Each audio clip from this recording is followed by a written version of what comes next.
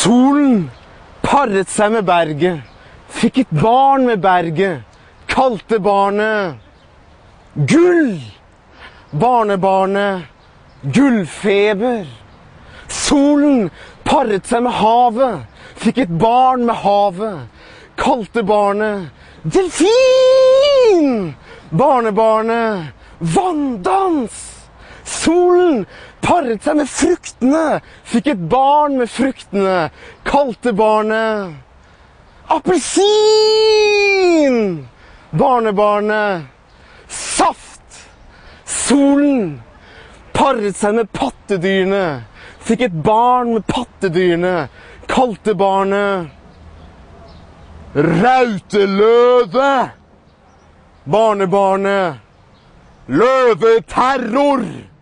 Solen paret seg med fugleeggene. Fikk et barn med fugleeggene.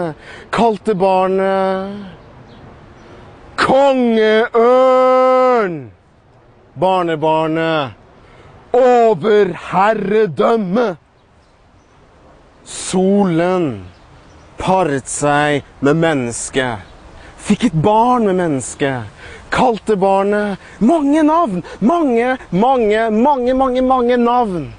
Men det var ett navn som sto solen aller nærmest. Og det navnet var All verdens elsker!